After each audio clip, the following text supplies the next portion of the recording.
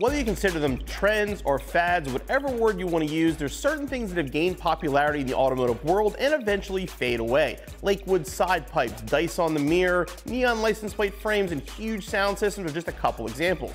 Now, some of these trends may eventually make their way back. Some of them, thankfully, though, are gone forever. And speaking of gone forever, today we're talking about 15 trends in the car world I would love to see go away in 2023. And we're gonna throw one bonus one in at the end that I think we all can agree on. First on my list is going to be the whole stance craze. Now, I get negative camber for handling. It definitely helps. Drift cars, absolutely, because you have to keep that contact patch. But camber, just for the sake of camber, has to go away. These cars are very dangerous on the road, and they're just going to tear up tires to boot. Please let it go away in 2023. Next on my list is going to be the whole stretch tire thing. And that does seem to be going away a little bit, but again, it's a safety issue. It's like those tires are not meant to fit on those wheels. And when you stretch them that much, it's very hard to get them to actually bead up. And one good pothole and you're going to have a blowout. Next on my list is one of all the Mustang owners can definitely agree on, and that's the Mustang crashing jokes. You know, okay, we get it. Lots of Mustangs crash leaving car shows, but so does everybody else. Yeah, we get it. It was funny for a while, but Again, the joke is old, just let it die.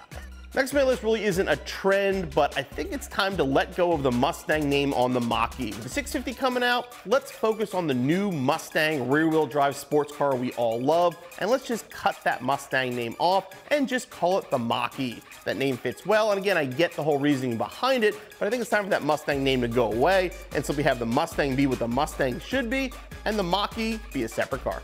Next on my list is this whole fake engine noise thing. Now, Ford's done it before. They've actually pumped some noise through the speakers, but now you're seeing electric cars with speakers on them to imitate the sound of an engine. If you want an engine, buy an engine. If you want an electric car, it's gonna sound like an electric car, but please get rid of these fake exhaust noises. Next is gonna be the whole crackle tune shooting flame thing that a lot of people are doing now at car shows. And you only see it at car shows, you don't see it anywhere else.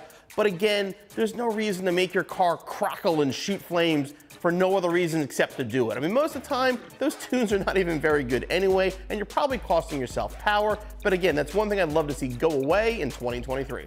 So it's 2023, let's stop with the overpriced used cars. And I'm not talking about like collectibles like Fox bodies and stuff like that. They're gonna keep going up, they are what they are. But people paying sticker or above for a used F-150 or a used Camry or something ridiculous like that. It's like, I understand supply and demand, and there were some issues, but supply has caught up. So let's get rid of these overpriced used cars. Now let's talk about light bars. And I get it, you know, if you're going off-road or you're back in the woods or whatever, light bars are amazing they allow you to see everything. You don't need them on the highway. If you're driving on a public road, turn your light bar off. You're literally just blinding everybody near you for no reason whatsoever. So that's one trend I would definitely like to see go away.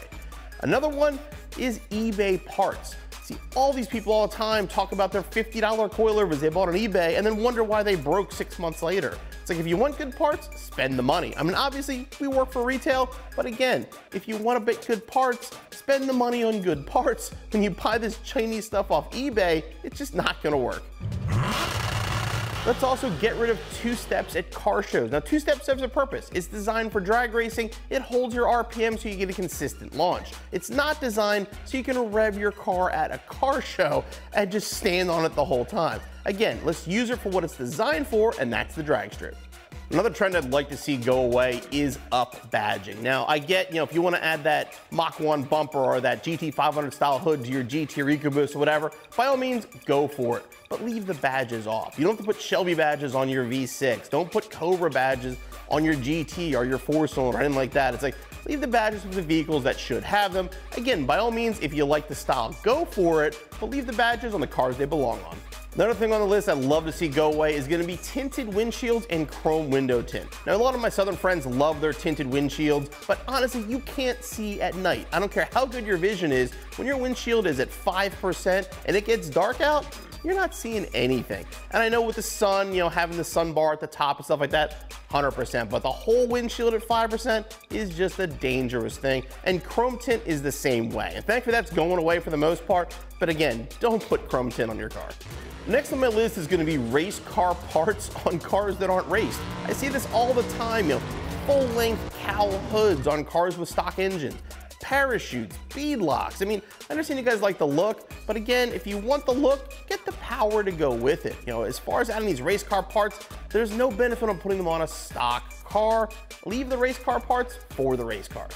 Last on my list, and definitely not least, is gonna be rolling coal. Now again, if you don't know what that means, it's all these diesel vehicles that simply blow black smoke everywhere for the sake of blowing black smoke everywhere. I mean, if the vehicle's tuned right, it's not gonna smoke like that, so it's being done on purpose, and it's definitely something I wanna see go away in 2023. And then my final one, and again, I'm hoping that we all can agree on this one, and that is let's stop with the clout chasing. Let's stop with these street takeovers and these stuff like that. It's like people are getting hurt. People are losing events, they're losing their cars. When you're leaving cars and coffee and you feel the need to do a burnout, you're gonna cost people that event. You know, there's a, a huge cars and coffee down south that people keep messing up. And it's like, you get an event, you get three to 4,000 cars, and because you feel the need to do a burnout leaving that car show, now they can't have it anymore. And you're taking that away from everybody just for a video for TikTok or Instagram or whatever. It's like, please, in 2023, let's get back to having cars be fun again. Let's stop worrying about the views and simply enjoy the hobby.